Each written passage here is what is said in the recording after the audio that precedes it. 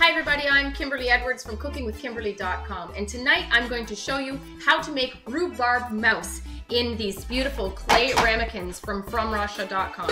Look at these beautiful things. Now there's two different designs. They're both stone, they're clay and they're gorgeous. You put these in the oven, they're oven safe, they're dishwasher safe. They're fantastic. They do a beautiful job. Now this one is slightly larger and more decorative than this one, but they serve the exact same purpose.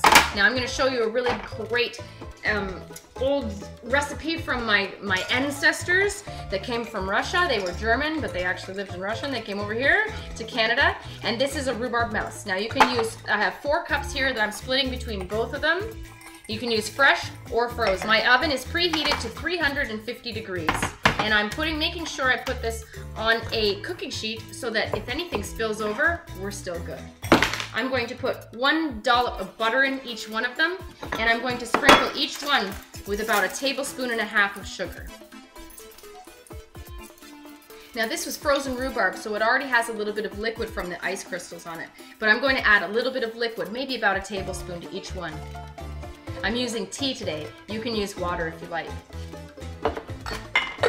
Lids on, in the oven, about 30 minutes. Okay, these, this rhubarb moos has been going for about 40 minutes now in that oven, and I'm gonna stir it up. I wanna taste for um, sweetness, just make sure that it's sweet enough. Beautiful. I also want to make sure that there's enough liquid. Now, I used frozen rhubarb and it all melted down, so there was quite a bit of liquid left. Otherwise, add some more if you're using fresh. I have one tablespoon and a little bit of cornstarch and cold water whisked together, half and half in each one. This is what's gonna thicken it up. Stir it up one more time, and into the oven it goes for another 10 minutes or so. Both of these ramekins did a beautiful job. They're both very comparable. This one is just decorative and larger.